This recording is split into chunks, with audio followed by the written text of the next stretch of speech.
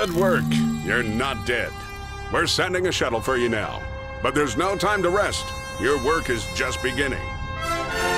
Mother Gunship is a combination of nearly every modern gaming convention. It's a first person shooter, RPG loot collecting, procedural dungeon crawler with gunplay from Doom and the humor of Borderlands. There's replayability, gun customization, and a simple to understand objective. There she is, soldier. The heart of the Archivist fleet. That's the thing holding Earth hostage. That's our target. That's the Mother Gunship.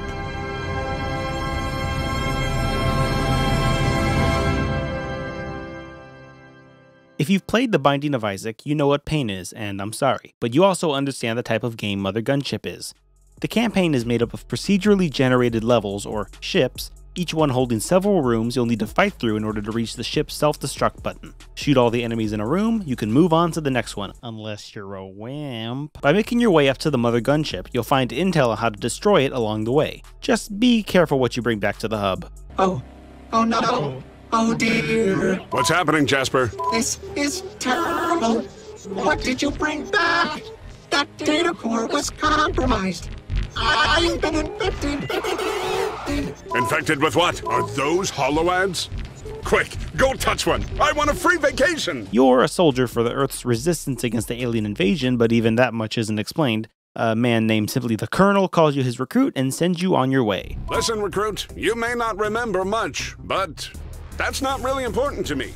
The biggest draw to Mother Gunship is that you can build your own guns. Enemies either drop gun parts or the currency required to buy gun parts in shops, and you can pretty much do whatever you want. There are two rules in crafting guns. The components you want to add must physically fit, and gun barrels must face forward. You can thank the insurance companies for that. You can triple jump, shoot up to two weapons at a time, triple jump, punch if you're unarmed, but most importantly, wait, no, hold on. No, yeah, you can triple jump. Yeah, hang it up, we're done here. Fights are fast, and the unprepared will be punished. You can only bring a certain amount of gun parts with you on a mission, and if you die, you lose everything you brought with you. If you forget to bring a connector that has a barrel port facing forward, you'll be stuck fighting enemies with a shotgun barrel just like an idiot. The dialogue is Borderlands funny at best, and your dad trying to be hip at parties at worst, but it's decent most of the time. Tell her you're delivering pizza. You're delivering pizza? Comm lines are compromised. She can hear us. Uh, yes, uh, uh, pizza. We're delivering pizza. The kind with pineapple on it. Now let's address the elephant in the room. Hey, elephant.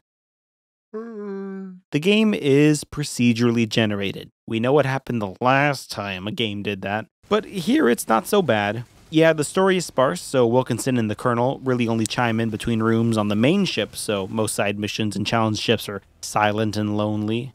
But I didn't really see much repeating between rooms in terms of level design or anything. I think the game has a couple quality of life issues by nature of the design.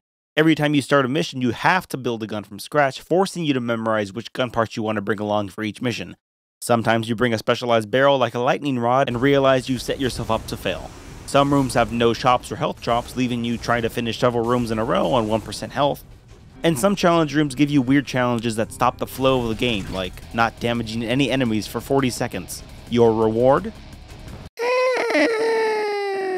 Hey look, a gun! That being said, Mother Gunship is a nice experience. With co-op and multiplayer coming down the road, it's a decent roguelike for the price.